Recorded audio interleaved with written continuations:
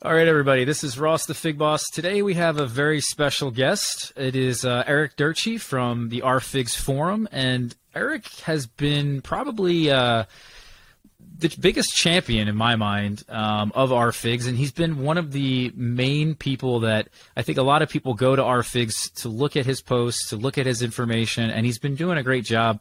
You know, being somebody that is uh, a responsible and peacekeeper individual to keep you know figs light and fun and at the same time being just a very informative individual. He uh, is is in california in southern california. Eric what where are you actually in um in southern california? Santa barbara.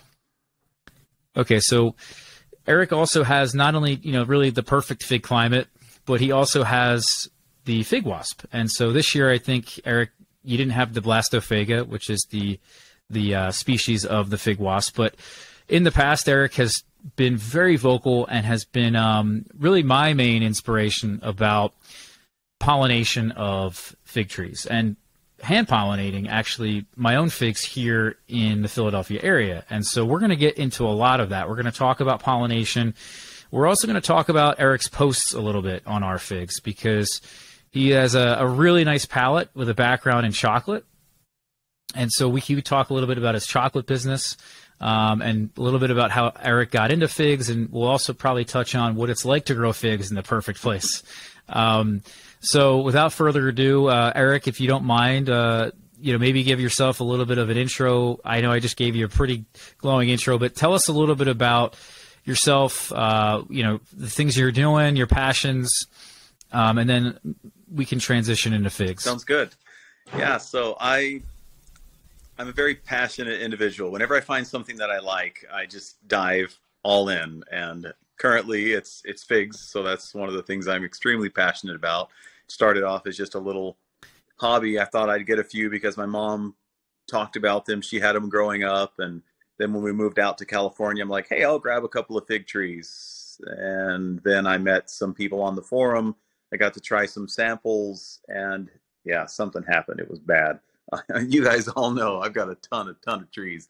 So I just, I love mm-hmm. it. I've done all sorts of stuff. I'm a chiropractor by profession, uh, but I've been into gardening since I was a kid, uh, especially fruits and berries um, more than anything else, like watermelons. But I found in Tennessee, I found what I recognized as a black raspberry bush growing on our hill. And I told my family, and they're like, no way, we only have blackberries. And I'm like, no, this is a black raspberry bush. And I recognized it because of the frost on the canes, uh, which was very different. So I dug it up and planted it. And sure enough, it was black raspberries. And so, you know, that was when I was eight years old, right? And I've, I've trialed hundreds of varieties of berries from all over the world. I did the same for watermelons. Every watermelon I could find, I tried. Um, corn. I've tried every variety of corn that I could. And I do all this so that I can see which ones are my favorites. I enjoy the the, the journey of getting there, right? It's fun. But also if I'm going to put my time and effort into doing something, I want to make sure that I'm I feel confident that whatever I'm growing is the best that's out there. I I I just love sharing these things with my friends. Uh, whenever it's berries, I'll have people come over who say, "Oh, I don't like raspberries or I don't like blackberries. And I'm like, well, just just hold on. Why don't you try these? You know, and it's just it blows your mind how good some of these varieties can be. Same thing with chocolate. I I started down this journey around 15 years ago, and I've pioneered many of the the new ways of processing and thinking about chocolate. I work direct with cacao farmers all over the world. We process them in unique ways to try and bring out subtle, nuanced flavors that other varieties may not have. For example, I had this one bean from Peru, and at the time, there were five bean to bar chocolate makers in the US that were using this same bean, and three of them met at the Northwest Chocolate Festival, and three of them tried my version and came to me and said, Why is yours so good? What are you doing that makes it different from what I'm doing, right? And it's just because I, I don't want to do anything different. I've never have a problem with, all right, here's the way it's supposed to be done. Sure, you guys do what you want. But in my mind, I, I find a lot of joy and excitement about trying to find a new way of doing it. I never take for granted that, okay, it's been done 3,000 years. It's probably the best way to do it, but what if there's another way? So that's how I approach just about everything in my life is trying to find a way to improve upon what's already existing.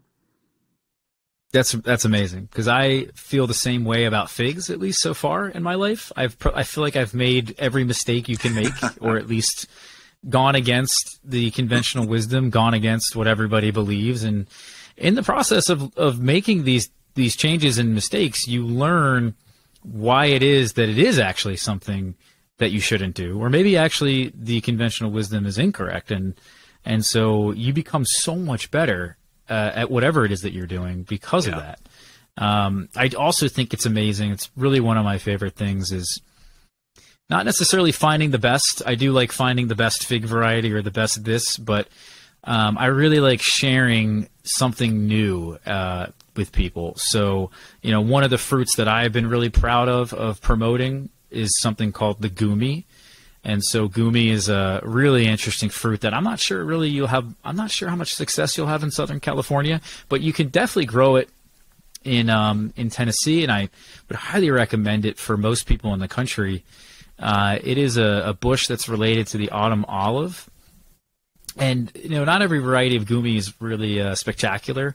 Uh, there's one in particular called Carmine or uh, Tillamook, and there's uh, I think even another name for it, and it's basically four times the size of other gumis that are available. And so obviously the size is bigger, but the flavor in it is really complex. It's got a level of astringency that typically tends to go away as it ripens, although I personally like a tinge of astringency in my food. Uh, it's got a nice fruit punch or berry flavor, and uh, it's a little tart. It's a little sour. Uh, it's sweet.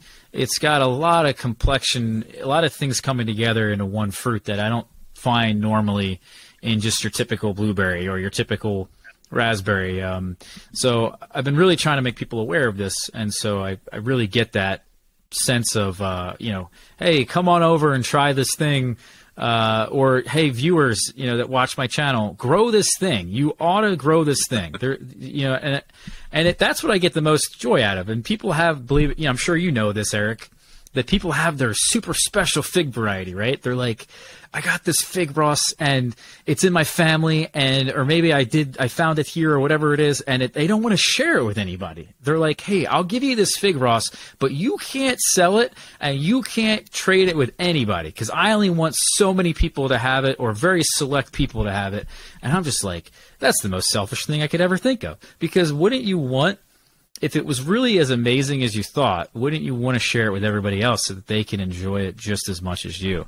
And so, I don't know. To me, that's like the best part about growing anything. Oh. Um, you know, I have. So, yeah. Uh, I make chocolate chip cookies. I've been making them since I was a kid. And my recipe, I, I make my own vanilla.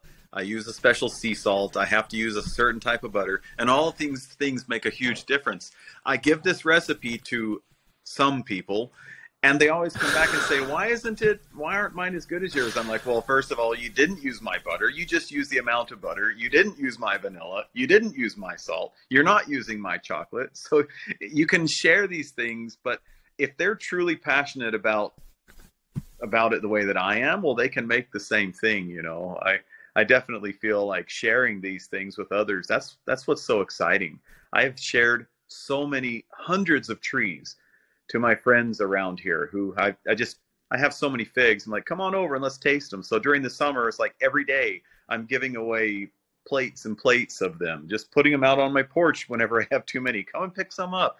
And it's so fun for me to have these people who didn't even really know what a fig was. And now they're like asking for trees and wanting to grow them.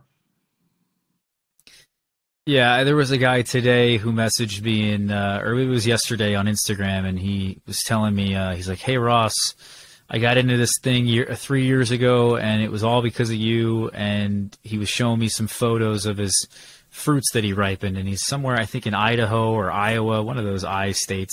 And so he was like, uh, "Show me the pictures of fruits." I'm like, "That's some really nice fruit quality." I'm like, "My God, this guy's eating some really nice figs." And then he's, uh, I'm like, wow, that's amazing. I'm so happy to have inspired you. And then he's like, yeah, Ross, but guess what? I also inspired other people to do the same thing that you inspired me to do. And I'm just like, whoa, this is, yeah, this is a little too much. Um, so Eric, I got a question for you before we move on a little bit about, about figs, but you, I didn't know you were so into coffee or, um, chocolate, excuse me.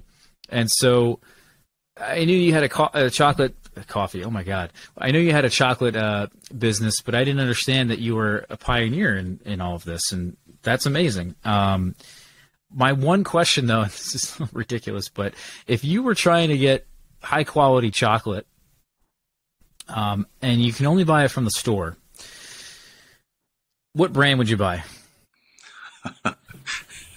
that is very difficult because there are not many that are in the regular stores that would be of interest to me. Um, okay.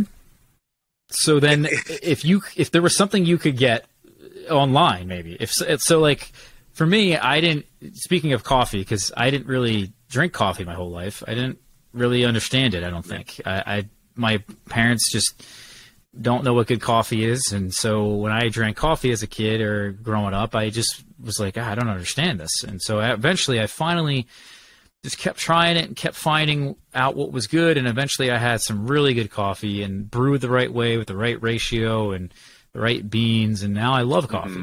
And so there's got to be a chocolate thing. Although I love chocolate, but what is the chocolate maybe that I could eat that I can just get somehow? So my favorite um, American chocolate company is called Amano Chocolate. A M A N O. I'm really good friends with the owner. We started our businesses around the same time. Uh, he, along with me, we were pioneers in the U.S. in working direct with farmers and sourcing direct versus buying from the, the large distributors around. And 15 years ago, there were not the cacao brokers that there are now. It was very difficult to find high quality cacao beans. So working direct with the farmers was critical, and Amano Chocolate was definitely one of the pioneers. The owner, his name is Art Pollard. He's a um, he's a great guy. He's he's very passionate about what he's doing. He's a computer science programming guru, and he started chocolate because somebody told him he couldn't make good chocolate. So he was just like, "All right, well, let's see what I can do." and from there, his passion turned into chocolate for quite a while. So Amano chocolate is definitely what I would recommend here in the U.S. Okay, so I'm going to try to get that and see if my perspective on co- on uh, chocolate. I said coffee again. I just have coffee on the brain. I'm telling you. well, it's kind of confusing. And I'll see if my our, chocolate perspective. My main company is called Crio Bru, and it's cacao that's roasted and ground, and you brew it like coffee. So now you're going to be even more confused. Oh, that's my main product. Is, wow, is cacao brewed like coffee. so Eric, let me ask you this because this is where I want to kind of transition into is is about you know your palate, and I I personally think I don't know what it is exactly, maybe because I can't see. Obviously, there's genetic things, but you know, uh, I would consider myself to have a above average palate compared to most people, and I don't know if I always had that as a kid. Like, I don't think I maybe uh, was born with it. Um, I don't think, obviously, I'm on the level of a sommelier or or some chef like uh, Massimo Bottura or someone like that, but I certainly know what's good and I know what's not. And so, is this a thing that you you think you were born with? Do you think it's a thing that you've cultivated? Obviously, you've definitely cultivated it, but do you think there is a level of you're born with it? And how much of that cultivation have you you know, sort of made over the years? I would say the majority of it is cultivated talent. We used to have these blind taste tests where we would sit around and we would try 15 new bars and we would share our thoughts independently on what we were tasting and then the next person would share and like oh wait they noticed a little bit of cinnamon in that one and this person noticed a little bit of pine and over time we got to where all of us had improved, and some of us a lot more than others. Um, I, I do think that maybe I had a natural talent for it, but it was definitely cultivated. It would have been one of those talents that I had no idea that I had, if not for my effort to try and and improve my palate so that I could make better chocolate. Uh, but I think anyone can learn how to do this. That's one of the reasons why, with good quality artisan chocolate, there are usually flavor notes on the back. You may not taste those if you're new to chocolate unless you know they're there. So if you take a bite, see what it tastes like, and then read the back, and then try it again and say, "Hey, can I actually taste a subtle hint of strawberry in there?" And sometimes you you'll notice that you can. That was actually my goal. Interesting. I had a, an artisan chocolate line for a while. Um, shortly after we moved to California, our house burned down, and this was a, a family business. The chocolate one was, and we lost everything. We lost all of all of our equipment for that chocolate line. It was lost. Um, but my goal with that chocolate line was not to make the best chocolate in the world, but it was to make some of the most expressive chocolate in the world. So if I told you that there were going to be hints of, of lemon or tangerine in there, you were going to be able to taste it. So I processed everything from the plantation all the way to the finishing, tempering the chocolate. I processed it in a way that tried to enhance maybe two or three flavor notes instead of the 30 that were in there. So that was my goal, and I feel like it was done um, fairly successfully. In fact, I was on a, a trip in Nicaragua with my wife, and this was this was one that it was safe for her to go to. A lot of the areas I visit, I wouldn't want my family to come along with, but this was more of a guided cacao plantation tour. And there was a, a lady on the tour with us. She was from England and she didn't like me, which for me was weird because most people like me. You know, I'm fairly outgoing, I'm happy, I'm positive, and it's just there was something that was just weird. So I asked my wife, I'm like, "What is going on? Do you feel that there's like some sort of tension here?" So finally, I went up and I just introduced myself more. I really tried to get her to open up and uh, she asked me about my chocolate and so i told her about my line and what my goal was and all of a sudden she just like completely shifted so apparently she was one of the judges on the london academy of chocolates. So and i had submitted some chocolates and i won uh, i won third place with my first bar i ever made in the world right? But she thought because some of the flavors were so expressive, she thought that I was adding essential oils and lying about it and not putting that on my packaging until we had a chance to meet and she understood like that is the only thing I'm trying to do is bring out some of these flavors in a strong way so that even you your first time trying dark chocolate terrible palate completely unrefined if I say there's lemon in there you're going to taste lemon right? So then things changed entirely as she understood what my goal was. So that's a little bit about my chocolate line but as far as palates go you can you can definitely improve and cultivate a talent for being able to taste fine subtle flavor notes that's good to know because my girlfriend was very curious i think she uh, that was like that was her question um, and um, you know it's amazing i think that story as well it just really rings true with uh, with me as well in some respects. In that, you know, I haven't met too many people I've met actually in real life. I mean, obviously, you have a perspective on somebody, and you think you know them based on what you're seeing right now, and they have a persona or they have an uh, an online presence or whatever it is, and people are just so quick to judge and so quick to um, assume things about uh, other people. And uh, for me, it's become such an eye opening experience being somewhat of a public figure uh, that it, it, it's amazing that it's not just affecting me, but it affects so many other things in people's lives and other other public figures and other famous people. Um, when if you just actually sit down and get to know the person, you know, there's a probably a slim chance you would ever even get an argument with them, you know, but you would get in an argument with them over the internet over something so stupid. The anonymity um, of the especially, internet is, is a poison. It's terrible. It's unfortunate, but I don't know how to so, counteract it. so let's talk now about growing figs in California, um, because you know you you have been um, someone. Obviously, we just talked about your palate And for those people who don't know about OurFigs or have been on OurFigs and have seen Eric's posts, because there's probably quite a bit of you guys, um, Eric has really beautiful photos of his figs and he um, ripens them super well. You can tell by looking at them, it's not just his climate. I mean, he lives in the great, a really nice place, but he really knows how to grow figs. It's just obvious that he's doing something that even other people in California may not be doing. Um, and so I wanted to touch on, you know, um, what it is exactly about California and what it is that you're doing that uh, maybe you could help other people or give some people some tips. So let's start off with what is it like growing figs in California or in a hot and dry place? Well, there are some some definite misconceptions about California. For example, it is not hot and it's not super dry here.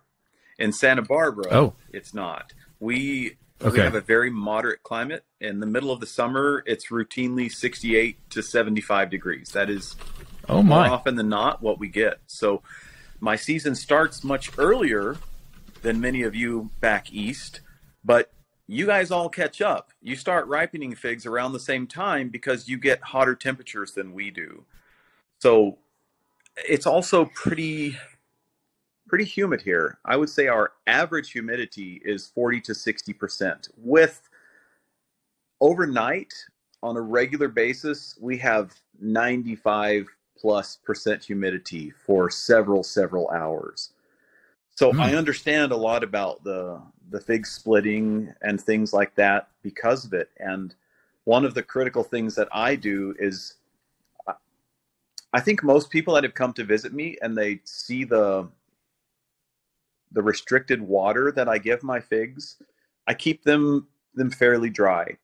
Uh, there's been a lot of debate recently about Colonel Littman's Black Cross and it being such a vigorous grower. Well, I keep mine, my in-ground ones and in pots. They are very minimally watered, unless I notice some like signs of stress, I try not to water them, and then I only water them the bare minimum. So I think that is mm-hmm. one of mm-hmm. the huge things for why I'm able to have some some really high quality fruit. I think most people tend to overwater them. I know you guys can't do anything about your in-ground trees because you get the rain mm-hmm. that you get. We don't. We we literally will have 8 months where there's no rain at all. So it's far easier for me to control the moisture that they get but I do think that controlling that moisture, if you're able to find a way to effectively do it, that's critical for the figs that I'm able to ripen.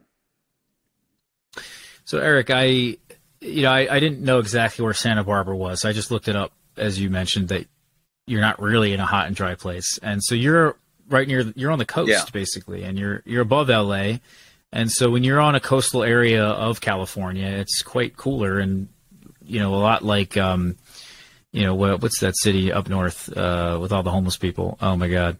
Um, that you know, you, I'm sure a lot of people know what I'm talking about. But basically, you you live uh, in a place that typically can be quite mild, and the further you go inland, the more hot and dry it gets. And um, so I didn't know that, and that's amazing. It gives it gives me even more confidence in your abilities as a fig grower, which is weird for me to say that, but um, I I've been preaching the same thing for years, and so people still fight me on this all the time. I don't know why. Um, uh, they think that they can somehow get away with watering their trees more, and so I always would push back, especially for those people who are trying to get higher quality fruits rather than the, the highest quantity. You know, there's some people who brag about, oh, I got 300 figs on my potted fig tree this year. And I'm like, okay, well, how many did you ripen? And how many of them are really good? Yeah. How many of them actually gave you that mind blowing experience that figs are supposed to do? Yeah. And so, you know, that's my always been my lesson to everybody on the channel is don't water your figs. Only give them the bare minimum of what they need to be happy and healthy. And beyond that, all that water is going to be just sent right into the fruits yeah. because the, the fig tree is like a cactus. You know, if you actually stop the water, first off, the water is the on or off switch of growth. And so if you want the tree to grow, you give it water. You want it to stop growing, you stop giving it water. There was a fun, interesting story. I had a friend of mine my grandfather was a barber in Philadelphia for many years. My uncle became a barber in Philadelphia, still is a barber for many years. And so they used to cut this guy's hair as he as he was a kid. And so he's been seeing my my grandfather and my uncle for his whole life getting his hair cut. And so that's how I met him and I learned that he was in the figs and I uh, it's just this weird story about how he got divorced and kicked out of his house and I know it's a weird turn, but eventually he's like, Ross, you got to go over to my house because I got all my potted fig trees there and I've been kicked out of the house and it's been months. It's been like two months at this point and no one's taking care of them. And there's no way that they're, they're like maybe even alive at this point. And so this is like middle of the summer. And so I go over there, grab the fig trees. The wife's not home. I don't know if I should be admitting this, but he told me to do this. And so I put them in the car, take them back to my house. He's like, yeah, take care of them for me while, uh, before I can get them back from you. And so I got the trees, but none of the trees had any leaves on them, amazingly. I mean, of course, but the trees looked fine. In fact, I was like, this is amazing. The branches still look healthy. The, the wood is, you know, green underneath the bark. Yeah. And, and so the, the tree basically went into this, uh, cactus mode is what I like to call it. And so it just basically stores so much water in its trunks, in its roots, its branches, and just has that ability. So if the tree can do that, I have a hard time believing it's not putting some of that water into the fruits throughout most, if not all, of the ripening process of uh, of a fig. And so the big debate, and Eric, maybe you can comment on this, is when you water a fig, when the fig first set on the tree and they're very small, and maybe they're in that first stage and they haven't even swelled to that slightly larger stage, um, does the water that you give them in excess at that point matter? Does that affect the flavor? I don't. At what point does it affect the flavor? I don't think it really starts to affect it until they start to swell. in the final stage. Okay. and that's also where it's critical to not overwater. So you know, there it's it's very important. I I set up drip irrigation one year because I have so many trees, and it was taking me so much time. But I quickly scrapped all of that because two trees that looked exactly the same, one of them drank twice as much water as the other. And I didn't know how I could set all of that up. And it changed from week to week. So you have to have like an intimate knowledge of what you're growing and be able to know when it needs water and when it doesn't. If you let it dry out too much and then you add a lot of water and some of those figs were about to start swelling, they're going to split like nothing. I don't care if it's a non splitter, they're going to split if you add too much water when it was too dry at the wrong time. So don't let them dry out too much. If you want to avoid figs splitting, sure, keep them uniformly wet but you're not going to have the high quality fruit that you can get if you're more restricting it a little bit but it's it's challenging you know each variety and each tree the root system sometimes it just grows a whole lot better than it would on another of the same exact tree and if you're watering them both the same way one of them's not going to be getting the right amount of water. But as far as like you're saying whenever they're little the figs are little before they've started to swell. I've never noticed any difference. I water the heck out of them so that they're growing like crazy until they start to ripen and swell their first figs. That's when I start to, to limit the water that I give them. So I would push back on that a little bit in that in years of drought, certainly here this year especially, um, you know, the, the figs have been obviously of a higher quality. And so there's a big difference in quality from, I think, one year to the next. And uh, I could be really trying hard. I even, one year, I added uh, plastic bags over top of every single pot. It created a mosquito nightmare. Uh, but I made sure that I was controlling 100% of the water going into every single container. And so by doing that, I learned quite a bit. And um, I have to say that, uh, especially when you have a drier soil and then it rains and you water a lot, it definitely buffers a little bit uh, and you don't see nearly as much splitting. Um, that was the big takeaway. But also, I, I do tend to find that especially that year, I had uh, better quality than than most years, if not really any year. And the only year I can think of is really this season, which there was a drought, and so it definitely rained at times when the figs were ripening.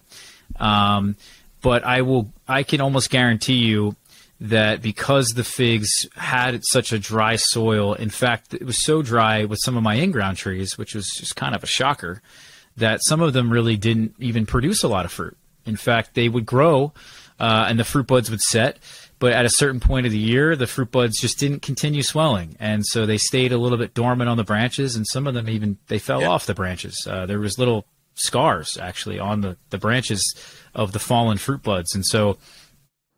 Um, on trees like that, I was absolutely amazed at the difference in quality. Uh, and I have to, I, I can really only put a finger on it that it was really the entire length of the season that made a big difference because even when I was harvesting figs after a rain or you know when the the soil had really started to rehydrate and the trees resumed growth the figs were still amazing coming from those in-ground trees because of that drought that we had pretty much for the mo- like most of the summer. Um, so yeah I would push back on it but um, you know, I think regardless, the message is clear that we need to be lowering the amount of water in uh, in our containers. And so this brings up another point. I'm curious to know what you think. Um, when you have a young tree, and so a lot of people, for years, I used to fight people on this all the time. They would say that, well, the tree has to mature. It really has to get a few years, maybe even five years, three to five years before it really starts to produce a high quality fruit. Well, my argument is if you just keep the water to a minimum, because young trees love to suck up that water, and they have a lot of room to grow in these containers, so they'll they'll absorb water like you wouldn't believe. So if you can just keep a, a younger fig tree a little bit on the drier side, you could still produce a high quality fruit. What do you think? Yeah, for sure. Uh, I do think that some trees can produce phenomenal quality figs six months after you rooted it. But I do have some others that I had pretty much written off and they were in my coal pile this year. And all of a sudden it's like, oh, wait a minute. that is not what I've had the last two years. But I would that is definitely the vast minority of figs. Usually if they don't impress me their first year, it's not something that is going to impress me in year two and year three. I've trialed hundreds and hundreds of varieties, and most of them I've trialed them over a couple of years, and very rarely does one make me change my mind on whether or not it was a keeper. But we'll see. All right, so let's talk now about the humidity here, Eric. And so one of the things that people ask me all the time is they say, Ross, you know, I, I want to grow figs in a humid place like you, or at least I don't want to have to move somewhere dry. And so what I'm going to do is I'm going to grow figs under a, a high tunnel or a greenhouse, and um, and so that way I can completely not have any rain touch the figs, and I can control the soil moisture that way. But I, I want to push back on that because it seems like to me, especially this year with the year that we've had with drought, that you know the lower the humidity is in the in the air, uh, the more the water gets sucked out of the fruits. So it's not just about you know, keeping the right soil moisture. It's also, I think, about having a lower humidity. And so if you have rain, as an example, hit the skin of the fig, well, then the rain actually goes into the skin, uh, depending on the variety. And so the skin then absorbs that moisture. And so rather than having less water in the fruit, uh, you now have more water in the fruit. And so the opposite is also true. It seems like with humidity that it's it's really sucking that moisture out of the the fruit as it ripens. And so, um, what do you think about that? Because you are now you said you're in a Santa Barbara, which is a place that has varying degrees of humidity. So you must have a pretty good perspective on this. Yeah, I mean there are many many nights during the summer, during the fall like now we're in that period where every day i'm going to wake up and it's going to look like it has rained outside because the ocean fog is so heavy and it actually feels like it's sprinkling on you for hours. The sun won't come out until 12 o'clock. So from about midnight until 12 o'clock in the afternoon we have 90 to 95% humidity easily right? So that makes controlling rust an issue but i'm not so sure whether the skin of the fig absorbs it or if it's the leaves that absorb it and cause them to to swell. But I do know that whenever it's dry, the the figs from whenever they're really ripe, they look big. If you let them sit there and condense, they they'll shrink sometimes to almost half their size because they're losing a lot of that moisture, which is awesome because now you have this condensed fig that most of the pictures that I post are like that. They were significantly larger a few days ago. And then you wait just long enough and now they've they've shrunk 30 to 40, maybe 50% of their size and and the flavor is a lot more concentrated. When it's really dry, and we have some of those days, the skin does get a lot harder, even on some varieties that have a thick skin that's somewhat soft. Sometimes they can be pretty leathery whenever it's really hot and dry. Absolutely, I've noticed that this year too. We had a couple days of 100 degrees and and it was really dry, and I was like, "Oh my goodness, this Smith ripens so quickly, and the skin is so different than it normally is." And so I was like, "That must be what it's like to grow figs in a really hot and dry place." Um, now let me let me push. Let me just dig a little bit deeper here with the humidity. So, are you saying, by the way, that you're not sure about the humidity? Um, higher level of humidity, like you said at night, actually adding water to the fruit, um, or are you talking about the rain? I mean, through the skin of the fig itself. I, I don't know. I, I, do know that the leaves, whenever there's humidity in the air, the leaves are going to suck all that up as if it was being watered from the roots, which then is going to go into the fig anyway. I just, I don't know. Uh, I'm not making a statement one way or the other, but I'm not sure that the skin of the fig absorbs that water, but I know the leaves do. Mm-hmm.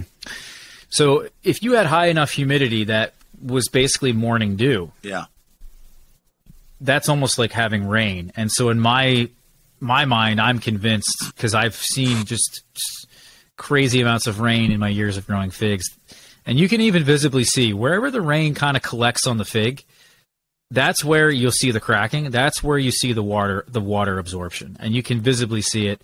It's not a, a big mystery, and that's also where you see splitting. And in fact, the you know the eye of the fig is such a sensitive spot because it ripens from the bottom up, and so that's the spot that is the softest and the most vulnerable. And so if you have an eye that's pointed upwards rather than hanging down, well, then the rain comes down and hits the eye, and then it it hits that sensitive spot and fast absorbs into the skin and causes a quicker expansion of that fruit. And that's at least what I've noticed is the biggest reason for splitting, uh, among many others. But um, so I'd be I'm very curious because when I observed the you know the tre- the trees this year with the drought, and then I observed you know some of the figs this year with maybe a little bit more of a higher humidity it was amazing i think to see the humidity being sucked out.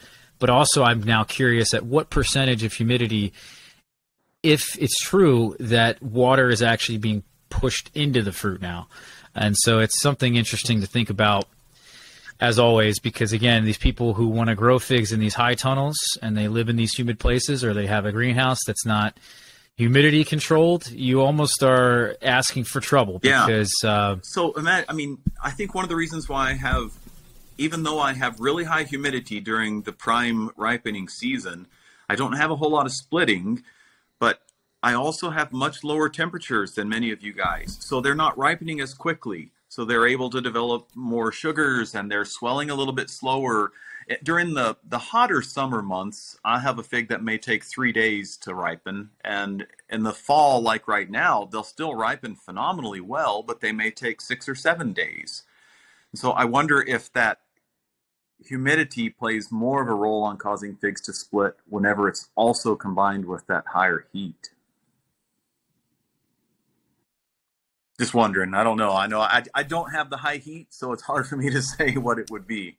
So I think you're right um, because when you have a fig that has a it's it's ripening quicker, right? So there's higher heat, the hang time is shorter, the susceptibility window is is shorter, yeah. and so it's ripening quicker, and therefore the fig is more vulnerable in a shorter period of time. And so if it rains on that fig in that short period of time, or if it is a much higher level of humidity, then it only makes sense to me that it would contribute in a negative way more than if it was colder.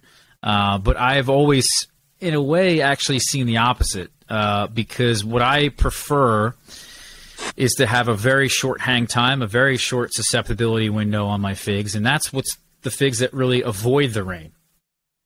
Um, so I don't try to really ripen many of my figs while it's raining or after the rain. I like to pick them before and then have figs that quickly ripen at, like after that rain period, so then I can have a higher quality. And so we had Hurricane Ian come in this year, and we had six days straight of rain and and drizzle, and so there was really only one fig at the time that was ripening to be able to do this. So I don't want to say that it's the only one, but Little Ruby, which is a fig that gets no credit whatsoever uh, for so many things.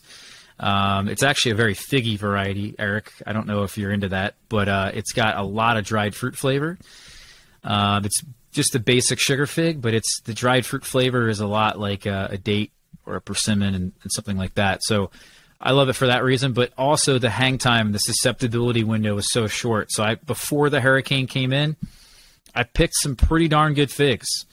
Then we had really cold and rainy days for six days straight, and I was able to pick a super nice fig. I mean, for that time of the year and for that period of time, was amazing. Two days after it stopped raining, hmm. and so that's I, you know, after a rain event like that, it's very easy to have figs ruined for weeks. Yeah. Um, so anyway, th- this is a pretty, it's pretty interesting. I think the, the, level of detail and how intricate you can get with all this, and I'm glad that you're paying attention to all this, even where you're at, because you know it's not something. Uh, at least for me, it's on my mind at all times when I'm growing figs. You know, I'm not thinking about many other things. It, it, like as a farmer or as a fig farmer, you're always paying attention to the weather, and for me, I'm always paying attention to that rain. Uh, when's the rain coming in?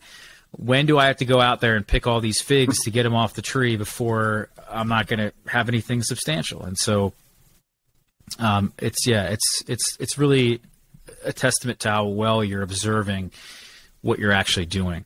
Um, so let's see here.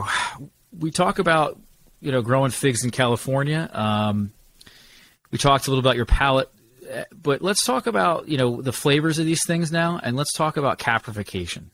And so I was very lucky that David Burke, um, the fig hunter, and his family was just so generous to send me a thing, a, a ten different varieties of wild seedlings that he found. Uh, got them all together, shipped them to me overnight, and it was like I picked them off the tree myself. It was amazing.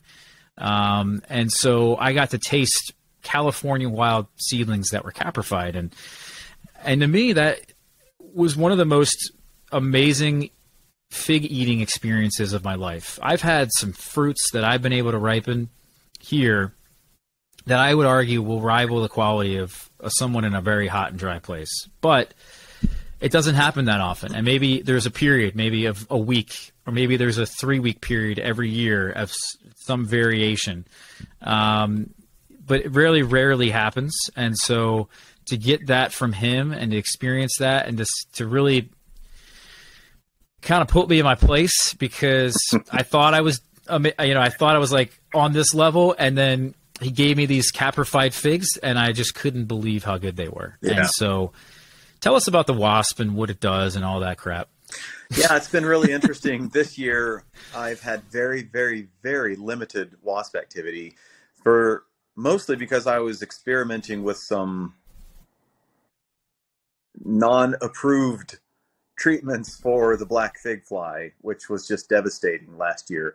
The good news is it seems like I I was very effective in controlling that population, not completely eliminating, but controlling it. But the bad news is, it seems like that also killed off my wasps. And where I am growing mine, I don't have. I, have my own colony of wasps, and I did not want to bring in any caprifigs from other trees around because the black fig fly was so bad here. I was afraid of bringing them back and reinfesting my trees. So this year I was able to really experience almost every one of my figs without caprification, which was an eye opener. Some of my absolute favorite figs that were just mind blowing, knock your socks off, they were completely unimpressive without caprification.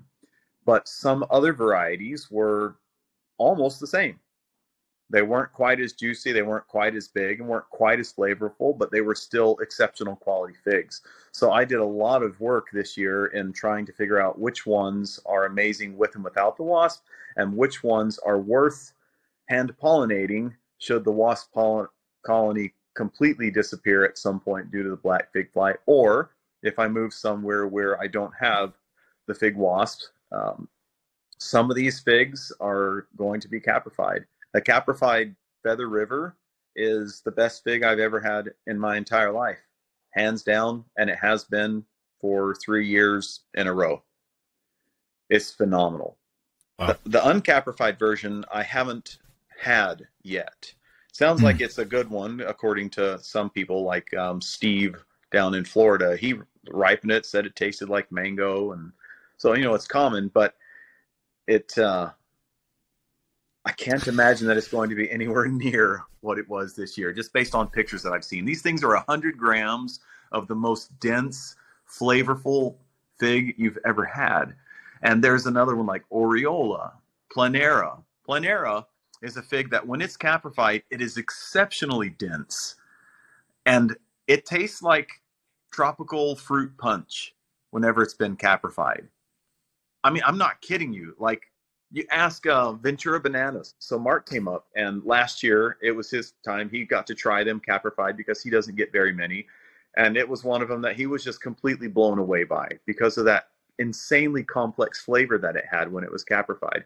This year it's just a you know it's a good fig, but it's nothing like the caprified version. So the thing that I learned most is that there are some exceptionally high quality figs um, Black Madeira, with or without caprification, is an amazing fig. A lot of the Adriatics, with or without caprification, they're spectacular. They're just a little bit bigger, a little bit juicier, a little bit more flavorful with caprification. So, really understanding, and that's one of the reasons this year why I have almost exclusively posted pictures of uncaprified figs because I actually got tired of everyone saying, oh, you can't share your pictures because we can't grow them like that because you have the wasp. I'm like, okay, so I'm going to test every fig. You have no idea how many buckets of water and cups I've thrown away because I'm testing every fig to see if any of the seeds sink so I can know if they're caprified. And I'm trying to make sure that I tell people like these are uncaprified figs. So what you're seeing right here, which looks very similar to what I posted in the past, you can get this. Yes, I have an ideal, I think perfect climate for fig growing but it's not the wasp right now. So I think it's actually given a lot of people hope, realizing that, you know, this is just take care of your trees, give them the right amount of water, and give them a little bit of time. And we can all have some of these phenomenal quality figs, even without the wasp. So, Eric, I I want to touch on because David and yourself have really driven the point home to me that caprification is quite amazing. And so I've read all of the FIG documents. I've read all the books. I've read all the what the FIG experts say. And so the general consensus is that caprification or pollination of, of fig fruits will increase the size and the quality. And so that's pretty much it. That's that's where it ends. That's where the conversation ends. That's what the information is. And so I was always of the impression until you guys came along this year, and well, at least I got those figs from David, and so I was in the impression that well, it's really not that big of a deal. I mean, it's more about the water. It's more about how you grow them. Um, it's more about the drier climate, and so here I come to find out. Well, in fact this caprification is is insane. It's it's on a whole nother level with, as you said, specific varieties. And so I wanted to drive the point home to everybody watching. It's not just making them better quality and larger. Like it's more than that. It's really important. And so it's a huge, huge difference. Like I don't know how to say it more than that. Like I just, I so I messaged you after I had this experience with David's figs, and I said, Eric, like you know, am I losing my mind here, or is this just what it is where you guys are when you get them caprified? And you said, if I remember correctly, that if I move away from where I'm at, I'm going to get capra figs. I'm going to grow capra figs, and I'm going to have pollen, and I'm going to hand pollinate my own figs to get that experience. And so, yeah, without a doubt, without a doubt, I, I have, I was of the mind last year that I wouldn't even waste my time growing figs anymore if I couldn't have them caprified. Now mm. I changed my mind. There are, are plenty that are good enough but once you've had a taste of a perfectly ripened caprified fig of some of these varieties, nothing else compares. This year, I have had so few, oh my gosh, moments compared to my previous years, right? And that's what I'm growing figs for. I'm growing figs yeah. for those mm-hmm. those yep. orgasmic like moments of eating, you know? And that is something that seems like it can only happen when they're caprified. And I'm not alone. Several of my neighbors and some local fig people on the forum who have come and experienced these with me, who have tried caprified and uncaprified, we all all feel the same. Like I if I move, without a doubt, I will be hand pollinating. I'll I'll be very selective. Um, I won't hand pollinate all of them because some of them are delicious, but I'm definitely will always have pollen available so that I can caprify a, a decent percentage of these figs. So here's my thing that I think you should think about now that you just said that. And so this actually comes back to the humidity. and so when you caprify a fig, is it pretty much across the board? Uh, what would you think that across the board that the size of almost all the varieties or all of the varieties does increase or is that not always true? In my experience, now I haven't specifically documented this 100%, but if I was to guess based on what I've seen, every one of them is noticeably larger when caprified. Okay. So Green Greenska, they're they're these tiny little end of my thumb size things whenever they're uncaprified. So, you know, I, I don't know, it's on the camera, you can't tell. I'm a big guy, but um, but the caprified version were twice as big. So some of them it makes them twice as big. Others they're, you know, 20 to 30% larger, but I don't know that I've seen any that aren't bigger when they're caprified. So I do want to give you, Eric, and uh, for anybody else in a, a, humid climate, a little bit of pushback and a little bit of things to, to think about. And so when we talk about growing figs in humid climates, it's it's really important to talk about the size of our fruits. And so, I think you would agree, Eric, that when you have a, a smaller fruit, and when the fruit is uh, or the the air is a bit less humid, it's it's just lower in humidity. The water tends to get sucked out of that smaller fruit a bit quicker, and so when it's larger, it takes a lot longer for that that water to get sucked out. And so when you have larger fruits, just in general with the humidity, but even excluding the humidity, there's going to be more water in a larger fruit.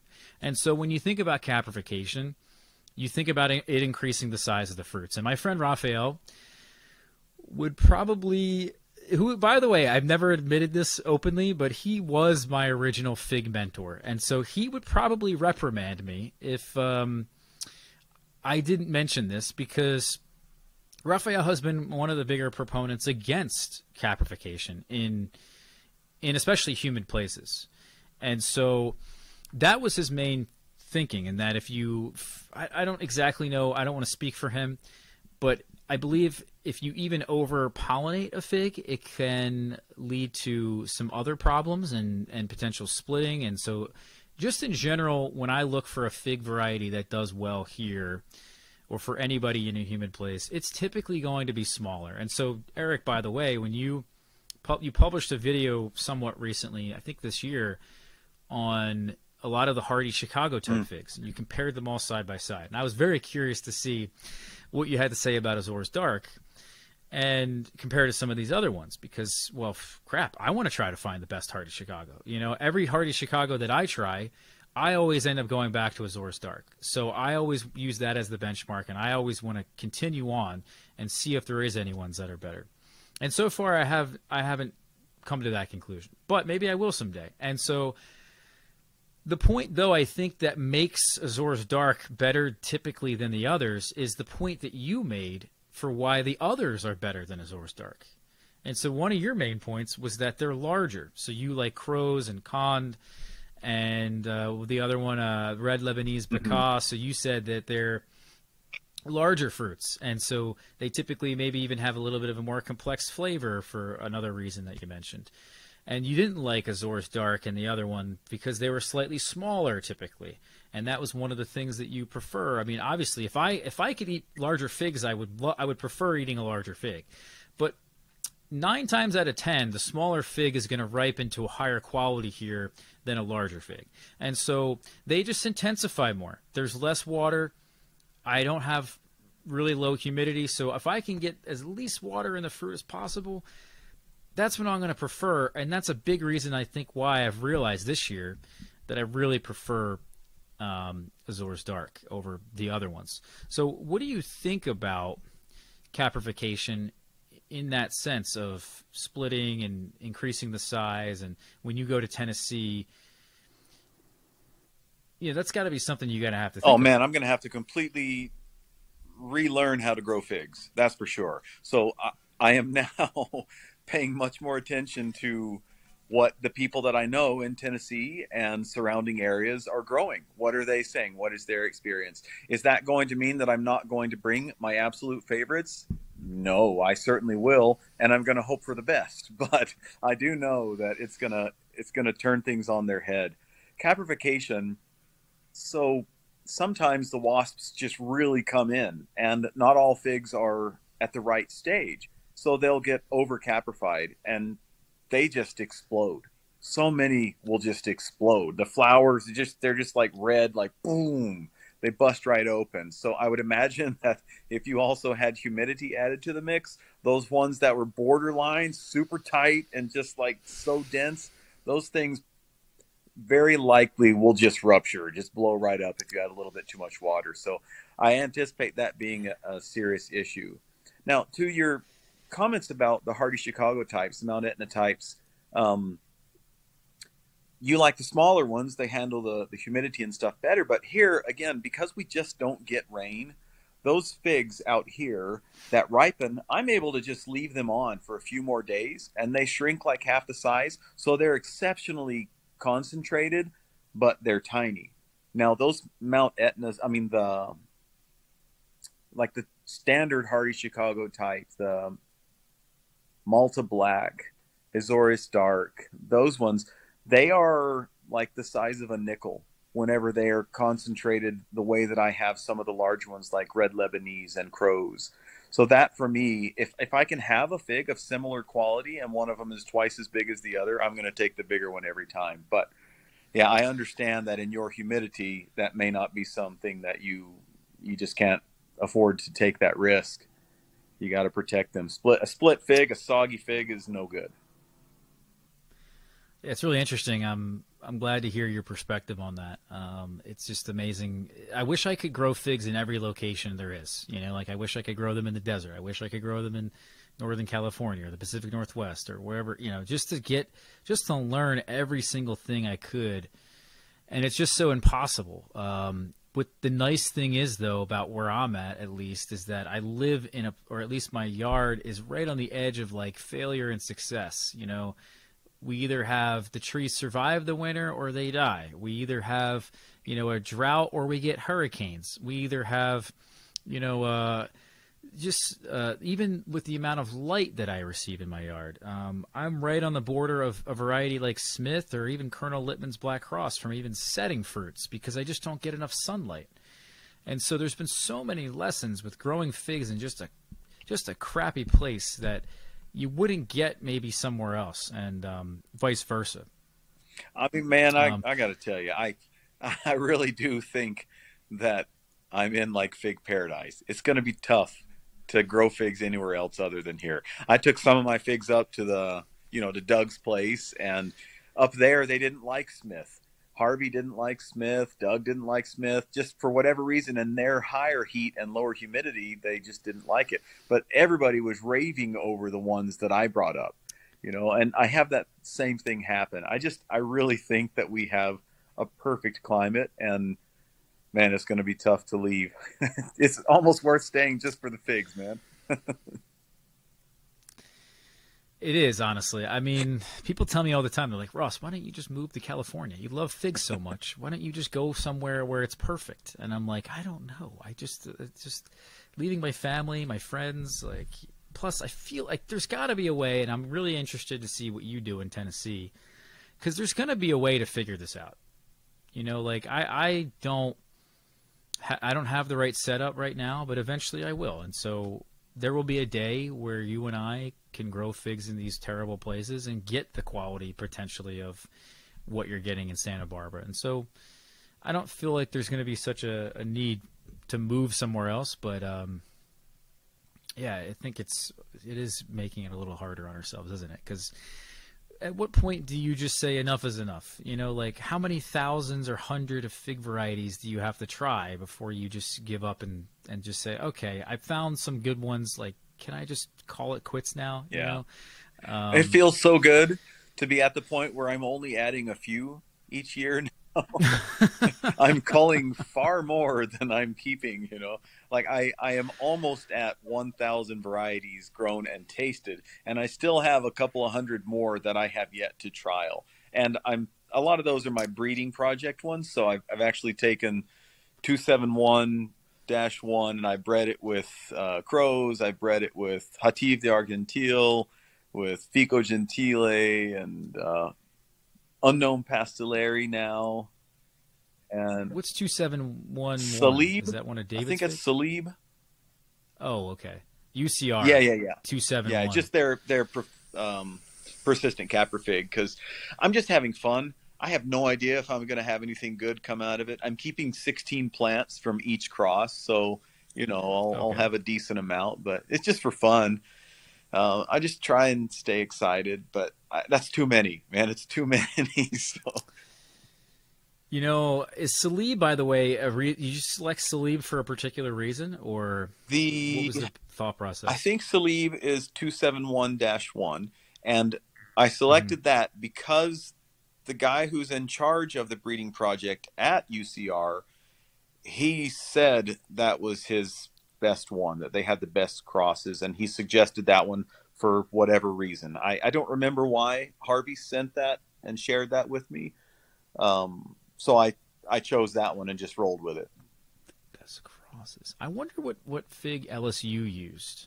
Um, you know, it, it's amazing because it's not just about the, the female fig, like whatever female fig you choose. It's your your you know your genetics yeah. come from not just your mom but also your yep. dad. So I have a feeling like choosing the right capra fig is going to be equally as important as choosing the the right female yeah. fig. And it's like, how do I even begin to figure out which male fig that I want to yeah. use?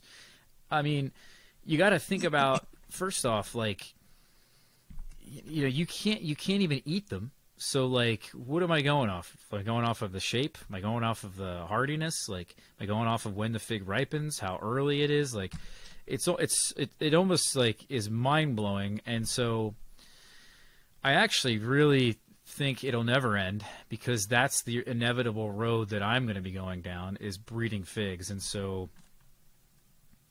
once you have the ability, I think, to really recognize something spectacular, it only makes sense that you should start breeding.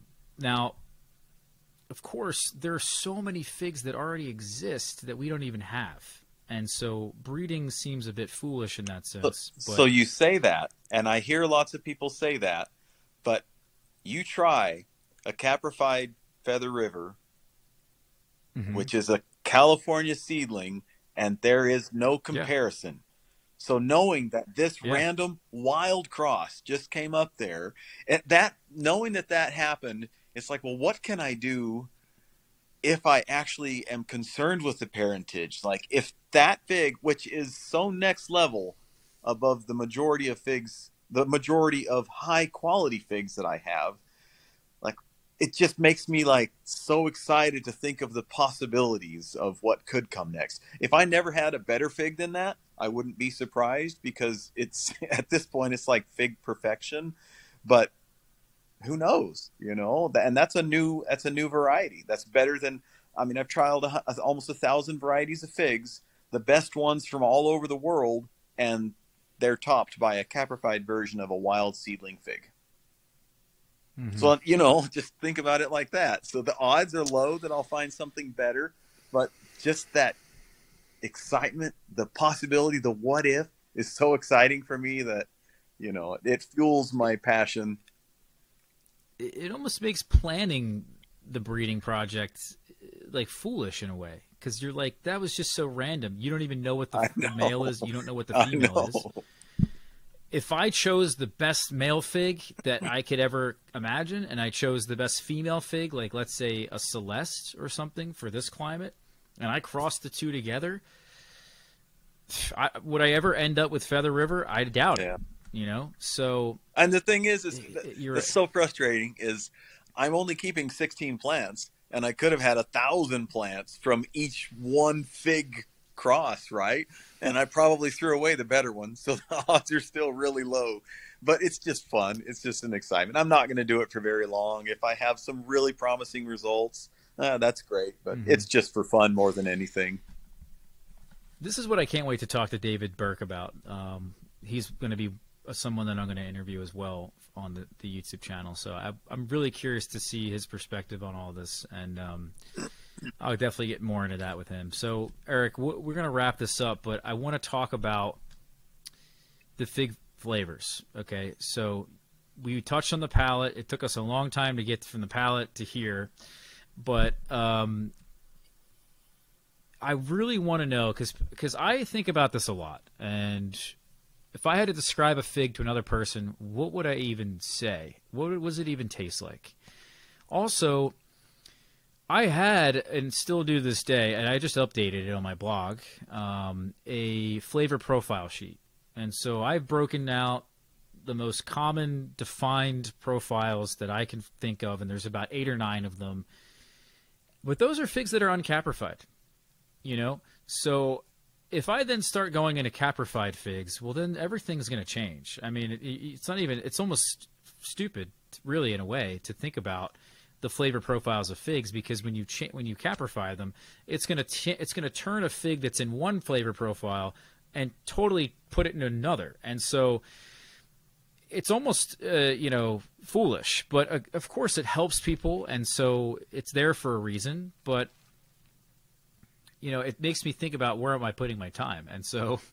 Um, what do you think about the flavors of figs and and um, not necessarily the flavor profiles, but tell me, as someone who's maybe even never had a fig, because to be honest, I've had a ton of figs, but there haven't been many that I've had that are caprified. So tell me about that. Well, the challenge of that is actually part of the reason why I'm so obsessed with them. I've grown fruits for most of my life I'm passionate about them. I love the taste of them, the flavor of them. But until I found figs, I never grew anything that was as diverse as the flavor compounds and profiles that I was getting from figs. I have had figs that are more like a cherry than a freaking cherry. I've had some that are more like a strawberry than a strawberry, more like a raspberry mm-hmm. than a raspberry. I've had some that taste like you just took a mouthful of syrup some of them that are like you've got a bunch of sugar in your mouth and and honey. Like there's so many different flavors that you can find from this one classification of ficus carica. It is just mind-blowing to me that they're even the same fruit. Now when we're talking about chocolate yeah we have subtle and i say subtle because it's usually fairly subtle. Subtle notes of lemon subtle notes of strawberry subtle notes of pine subtle notes of oak. But with figs it's crazy it's crazy. If you close your eyes and you had a perfectly ripe unknown pastelaria and you gave it to somebody, they would think that you gave them a soft cherry, right? So how do you describe this to somebody else? I don't know. like which one am I describing? But that's what makes them so fun, especially the caprified version. There is no other fruit out there, period, that can give you a cherry or a raspberry or a bowl of sugar or a strawberry. I mean, it's just incredible that they can get. And then you have some of these like a caprified planera that tastes like tropical fruit punch. You know, some of them are so incredibly complex that there's just so much going on. There's an upfront flavor, a middle flavor, there's a lingering flavor. That that I think is one of the things that really really gets people addicted and hooked to it is because it's a flavor that you have not experienced and you probably won't experience unless it's been through a perfectly ripened fig. Yeah, there's a lot of I want to say about all that. I actually gave my brother a number of fruits over the years, and uh, different people over the years, obviously. But sometimes people look at me when I give them a fig for the first time, and they're like, they're almost so shocked, like they, that they think like that it's not even real. And then also, some like my brother, I gave him a goji berry one time, uh, and there's two species of goji berry, but one of them is terrible. It's so bad that you spit out of your mouth bad. He thought I poisoned him. so like I just I just think you know, it's it's true. Like explaining this stuff to people is so difficult. Um, in terms of texture too, I don't think people really put enough emphasis on texture. Yeah. And I want to get into that, but I do forget before I forget. Smith is one that to me always has a lingering flavor, and so it's so lingering that I've had figs that actually of a similar flavor profile. Eating them after Smith, it tastes like Smith because it's still in my mouth. That I I didn't even realize that. Um, I remember I when I first started out, I was like, "Wait a second, that fig just tasted just like the one before it," and so. uh, years later, I'm like watching this video of me review these figs, and I'm like, wait a second, um, that's not right. But I can't have Smith first. I got to do that one last. yeah, I, I do. I just think there's certain figs that just ruin it somehow. You get to cleanse your palate. Yeah. Um, so, and you know what else? Also, before we get into texture, David, when I ate his figs, I, I totally experienced everything you just said. Like, I believe the tropical fruit punch. I believe all of that crap. You know, when I eat the figs here that aren't caprified, it's and they're not in the perfect climate. They're not grown with the perfect soil moisture. It just doesn't it doesn't come out like that. Compared to caprified, ex- they're boring. I don't know how otherwise to boring. describe it. If you have never had caprified figs, you're probably in love and you think that they're fantastic. But if you have had caprified figs, they're boring. So there are there are that you said that are are up there and they're good, but again, I would totally agree with you. They are boring. There's just something missing. And so when they are caprified, that f- weird flavor profile, and I was eating David's figs, and I had to do the video over.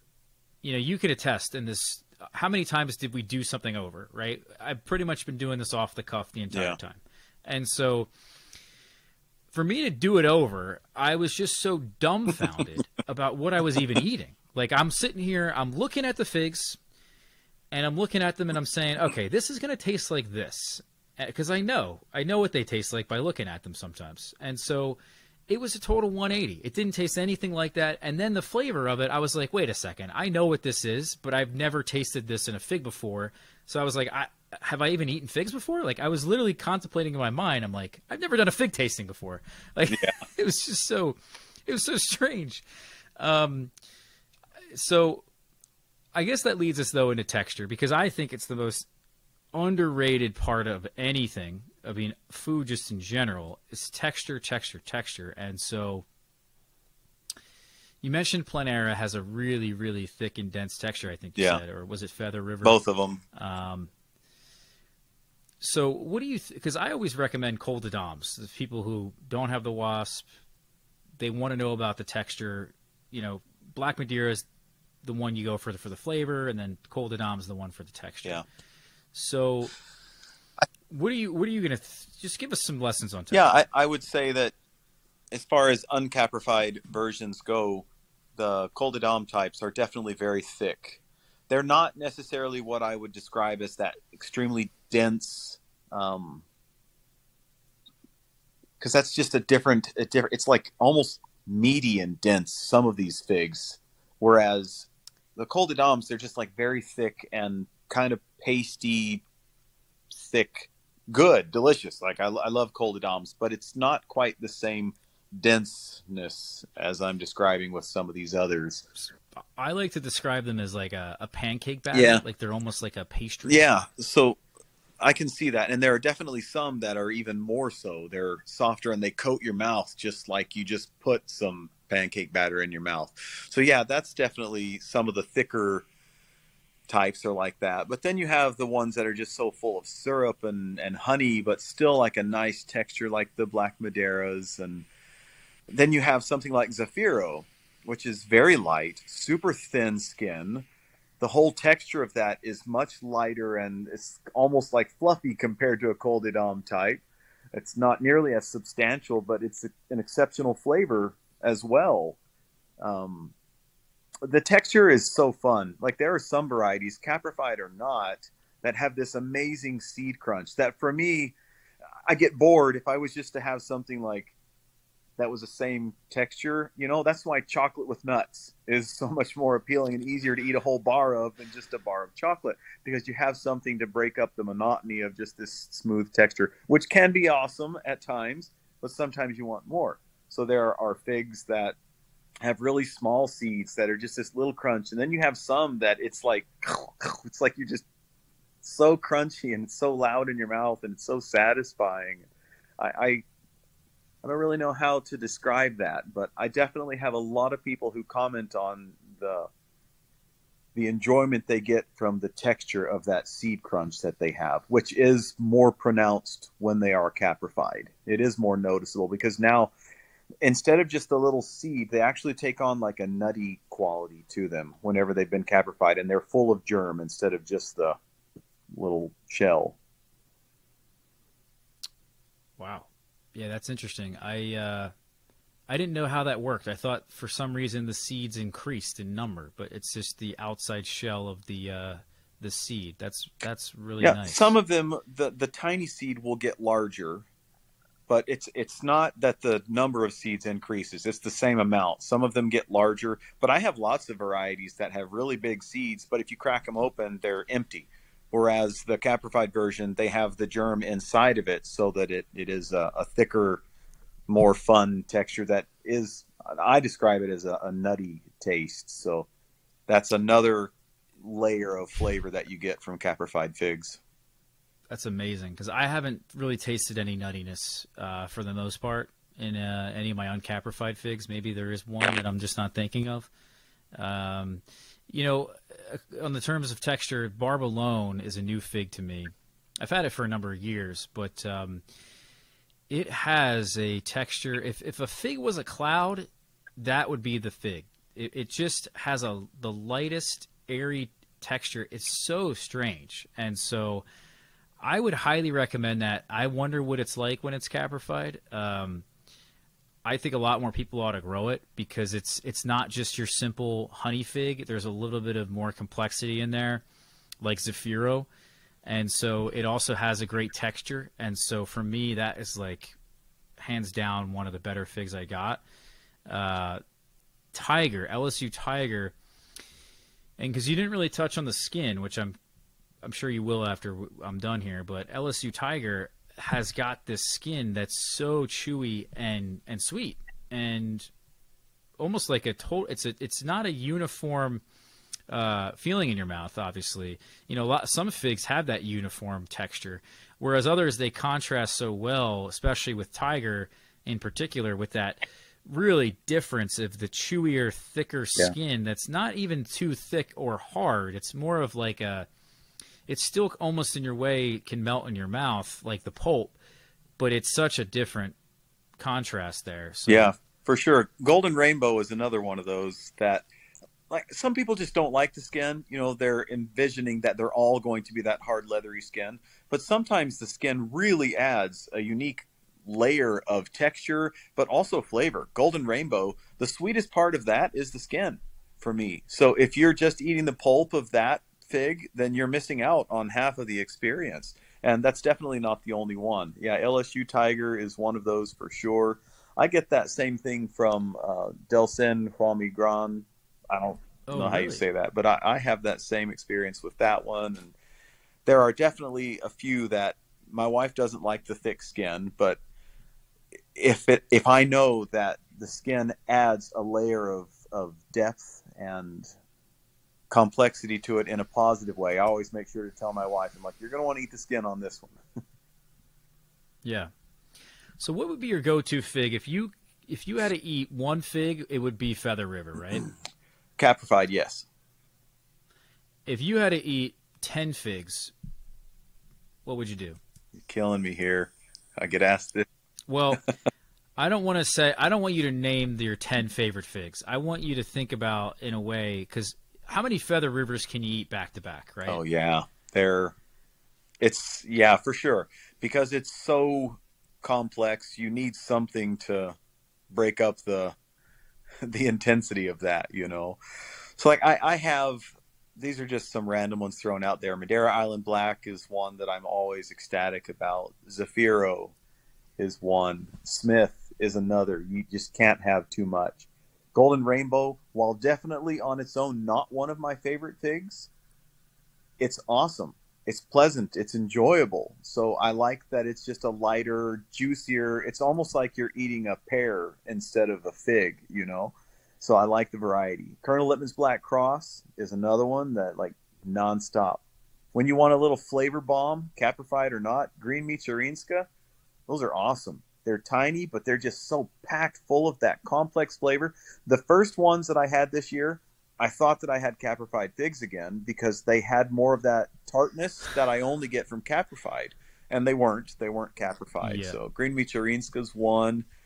Um, Bordissot Negra Rimada. I love the texture. It's it's like a not as dense black Madeira type fig. Uh, Delsin Palmy Grand is fantastic. Caprified version is out of this world, but the uncaprified version is also really good. It's just it goes from being this sugar bomb to an extremely complex, very intense flavor when they're caprified. But that's definitely definitely one of my favorites. Uh, Let me ask you this: so Green Michurinska, okay, I I really like that fig too. I, I, actually this year or last year at the end of the year I put it in my top twenty. I don't know where exactly I would place it, but it's very good. It performs well. It's exceptional. Um, my only question with it though is how different really is it from these other Adriatics? Very. And so I very okay very different because I had originally thought it, the original thought was that it was similar to the Adriatics and that it was classified as an early Adriatic. And then I ripened some and I thought this doesn't really taste like to me eh, like an Adriatic no. fig. And so but I was like maybe I'm wrong like cuz every one of them on the on that tree of the last couple years I've had them have been a, a, a little bit different than each other. It's like um, you know, a lot of people say that every fig on the on the tree is different. Um, and so that's true to an extent, but with this one, it seemed to me a little bit more than than others in that situation. Um, but that's good to know because I was wondering that myself. Now, you did mention the caprification because uh, we didn't touch on this, and I forgot forgot about it. But the caprification increases the acidity. Oh yeah, for sure. And so I actually don't even like too much acidity in my figs. I think it's a little bit strange. Um, I do like a berry flavor, uh, but when they taste a bit like a cherry or a raspberry, I'm a little bit put off. Um, I don't know what that is. Maybe it's just a time thing, and I have to get used to it.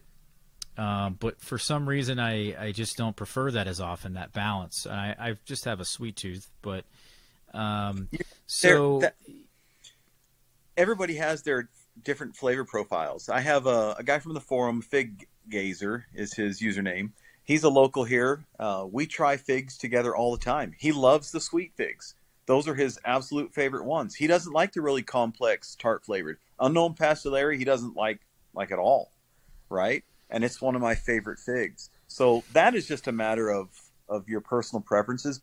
But to speak a little bit more to that, it doesn't necessarily just make them more acidic, it also sometimes makes them more sweet. So now instead of this cloyingly sweet fig, sometimes you have a cloyingly sweet fig that has added nuanced complexity of berry and this acidity to cut it and make it so that instead of eating three, you could now eat 10. Mm. So it really helps to balance the flavor profile of figs instead of just making them more more one tiered in flavor. There's a lot more complexity going on with them. So they're usually or many times there is increased sweetness to offset the acidity, but you get to experience both of those in the same bite, which for me is a lot more fun. I'm a big foodie. This is, has happened over the last several years as I'm in. But you're a big foodie? Oh yeah. if you didn't catch that already, right? I I now am looking for adventures. I'm looking for an experience, something new, and that's one of the things I really feel caprification does is it takes a great fig and turns it into an experience and a journey. So you're no longer just this mm. one one layer of flavor. There's multiple layers of flavor going on with the same fig. So you mentioned over pollen uh, pollination, and so you mentioned the wasps. There's too many wasps that go in the same fig. Now, what about if you hand pollinate? You can do the same thing, correct? Yeah, you can. the The standard thing that most people that I have seen have tried is like five grams of pollen to like a 100 grams or maybe it's 0.5 grams i don't know just look it up online there's something and if you follow that protocol it doesn't look like you're really over caprifying the figs if you try to do it with the little cloth thing and poke it in there then that's not nearly as scientific. So a lot of times people who have tried that method have over caprified their figs and caused a lot of splitting.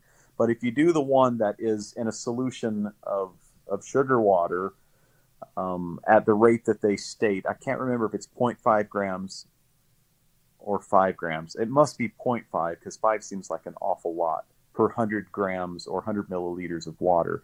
Then you just poke a hole in the fig and then you let a little bit of water when a drop of water comes out the eye then it's done and you just leave it at that. And most people have had very good results with that in the studies the scientific studies that are done and those in recent years who have been sharing their experiences online. Oh oh one thing for sure. In certain areas of california and i believe here in santa barbara some of our caprifigs I think they have some sort of mold. So you end up getting a lot of figs that have endosepsis. And so unless you cut that caprifig open and spray to kill this mold off, that goes in your fig. And I I usually have 10 to 15% of my figs that would spoil whenever they were caprified from the wasp. So hand pollinating, you won't have to worry about that. Wow. That's amazing. Okay, so then if you had a a caprifig, is it possible that a caprifig would not have pollen? If it's a male tree, it's got to have pollen, right? I think, I, I think so. Um, I don't know for sure. I know the ones that I grow hmm. all have it, and all of the ones that I found in the wild, if it is the Profichi crop, they have all had yeah. pollen. Some of them have significantly more than others, but I've mm-hmm. never found one that didn't have any pollen so far. And so when does that pollen really form in the fig? It's only really at the end. Yeah, it's right right towards the end whenever it's ripening. Um, the best thing is to wait until it gets soft, almost like a regular fig, and then mm-hmm. pick it off, cut it open, and stick it in the fridge for 24 hours so that it starts to dry up a little. That releases the pollen more readily so that you can shake it out instead of it being wet and it, it's a little harder to get. So uh, definitely let it dry a little bit before you try and shake out that pollen. That's a really nice lesson. So one thing before I let you go here, Eric, I I, I do have a caprifig, a couple caprifigs uh, in my greenhouse, and so I let the capra figs, the Profichi, ripen um, all the way until they fell off the tree, and so they were soft and they changed color a bit and looked like to me they were ripe uh, taking the Profichi off the tree and opening them all up one, one by one. There was probably 40 of them. None of them had pollen. And so I'm really confused because this was really, I was hoping this year to do some hand pollinating and I wasn't able to because of that. And so maybe I'm thinking, oh, maybe it's the variety. Maybe because of the setup in my greenhouse and how it's quite shaded and you know just there's a lot of trees in such a small space it's really not a lot of light maybe the figs fell off prematurely and instead of getting to that final ripening stage they they actually just fell off um, is it a um, confirmed persistent type because I, I, I I am confused about capra figs. Don't get me wrong, and there seems to be a lot of mm-hmm. confusion mm-hmm. about them. But I had believed yeah. that you had to have a persistent capra fig in order for that Profichi to ripen with pollen. It has to be persistent. I, I okay. could be wrong about that, but I that might be what happened. Maybe I'm not sure. So it makes sense that it would have to be persistent because if it's not persistent, which they only use persistent capra figs in breeding because the persistent ones have the pollen. So yeah, I guess that makes sense that not all capra figs would be persistent, and they're not all persistent, and not all capra figs will produce that pollen. I guess. Um, yes. All right. So that's at least a theory for now. We'll see how that one works yeah. out. But um, yeah, Eric, this has been so amazing. I wish uh, we could talk for more. I'm sure that there's other topics of, uh, you know, in-depth things that people kind of go back and forth about, and um, you know, people have one opinion on and another opinion on, and so um, there's always a lot of nuance, and maybe it's not ever, you know, usually one side or the other. Um, but it's interesting as we've just learned in this video to see the perspective of somebody else, how that's dramatically changed their thoughts and their opinions on growing figs. And um, yeah, so I really I thank you so much for joining me here. Uh, I'm sure everybody loved this episode. Um, if there's anything you want to plug, I don't know if you have something in particular, uh, maybe fig trees or your chocolate business or something. Uh, feel free. If there's something you want to say, I don't even know if you have something to plug. You want to give some life lesson or something. Uh, be my guest. No, I, I'm fine. I don't really have any anything to plug or, or to say. Just just had fun being here. Thanks for the opportunity. I love talking figs, sharing figs, and hopefully there will be some people who learn some things and get a little bit of our passion and we can just keep having fun growing figs together. Absolutely, man. So Anyway, guys, this was Ross and this was Eric Durtschi. I really thank you guys for watching this one. Please hit that subscribe button if you haven't already. Check out our blog, figboss.com, and um, caprify some figs, man. Take care, guys.